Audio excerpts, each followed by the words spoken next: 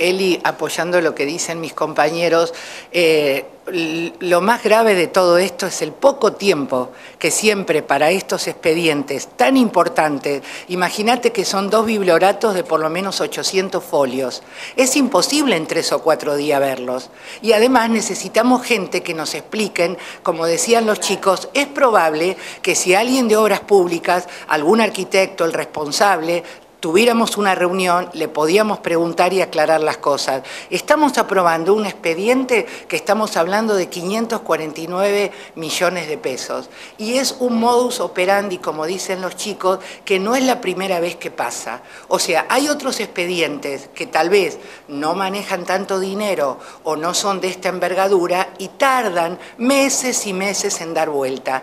Los expedientes que tienen un, de obras públicas especialmente y de obras donde estamos manejando un montón de millones de pesos, de la noche a la mañana hay que aprobarlo. Entonces después, si nos oponemos o, o decimos objeciones, somos los malos, somos los malos de la película como dicen los chicos, nos habíamos puesto de acuerdo y por supuesto primero la localidad.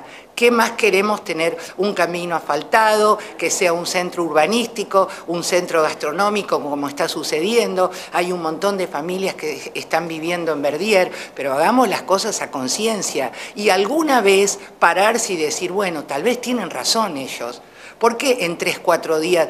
yo no creo que todos los concejales hayan mirado los dos biblioratos, las 800 hojas, realmente. Y eso es lo que eh, siempre te queda el sabor amargo. Y como han dicho ellos, tenemos el antecedente de Sapial. No nos olvidemos, vamos a ver cómo termina la historia. Y vamos a ver dónde están los 20 millones, que ya no son 20 porque con la inflación se hicieron 40.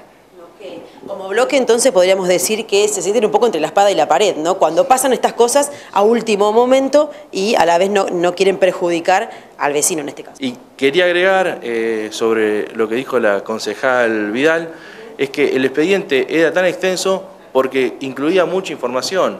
Eh, eh, los antecedentes de la empresa eran, muy, eran numerosos y estaban con facturación y, también estaba la garantía de caución.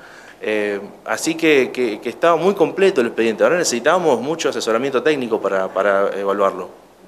Eh, bueno, por último, para cerrar, respuesta de eh, tanto del legislativo como del ejecutivo, ¿tuvieron alguna con respecto a todas estas dudas que les, les planteó este expediente? Solamente las explicaciones que dieron en sesión. En sesión las explicaciones que dieron los concejales en, sesión. Que son estas que remarcaba Rodrigo. Son insuficientes, sí. Sería bueno que justamente, que varias veces lo hemos reclamado desde nuestro bloque, poder tener mayor cantidad de reuniones con el Ejecutivo, porque prácticamente no las tenemos. Y como dicen mis compañeros, las explicaciones que tenemos son las que nos pueden dar los concejales en la sesión. Y nada más.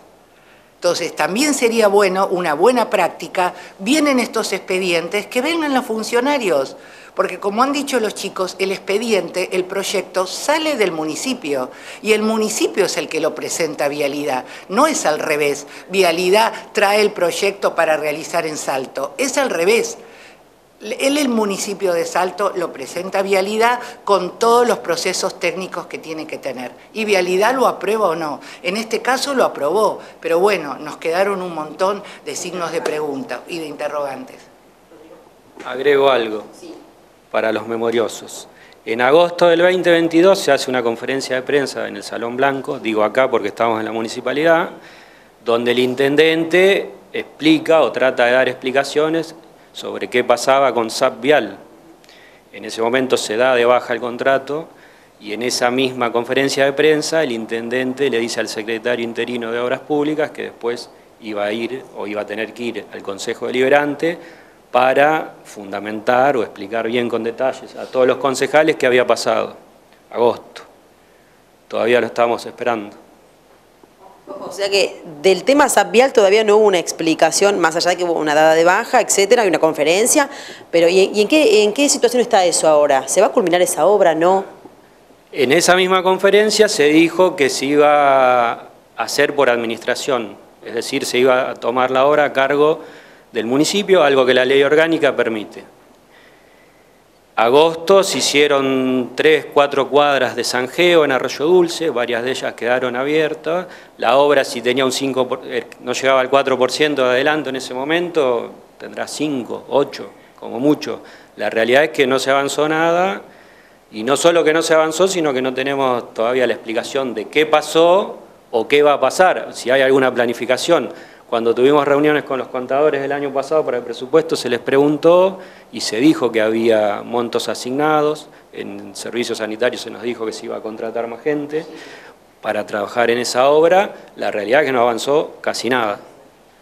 Y lo que pasa también es que nosotros, cada vez que tenemos una licitación, tenemos que volver a confiar en esta gente que todavía no nos explicó qué pasó con SAP Vial, que desaparecieron 20 palos en ese momento, con la inflación, como diría Rodrigo, hoy valdrían 40, y, los funcionarios siguen trabajando. El cura no, no echó a nadie por, ese, por ese error.